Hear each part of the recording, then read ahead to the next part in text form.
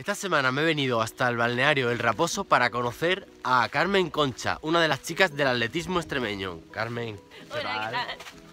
Carmen, de jovencita ya corrías, ¿no? Sí, desde los nueve años. Desde los nueve años corriendo. Sí, Pero hubo un parón. un parón de 16. Un parón de 16 años. ¿Y cómo ha sido esa vuelta a correr?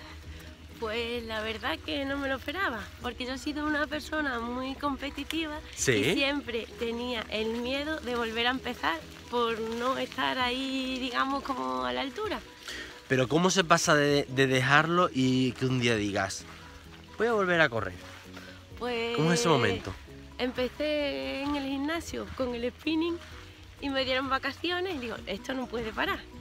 Y digo, voy a una vueltecita corriendo y empecé, pum, pum, pum, pum, pum, pum, cada día te veías mejor y seguí, seguí, seguí hasta que me metieron en la primera competición sin yo querer, ¿Y qué tal se dio? estupendamente. ¿Cómo que Fue en estupendo? Don Benito. ¿Y qué tal? ¿Bien entonces? Quedé segunda. ¿Segunda? Y entonces el cuerpo ya pedía Tu más. regreso segunda, ¿no? Sí. Jolín.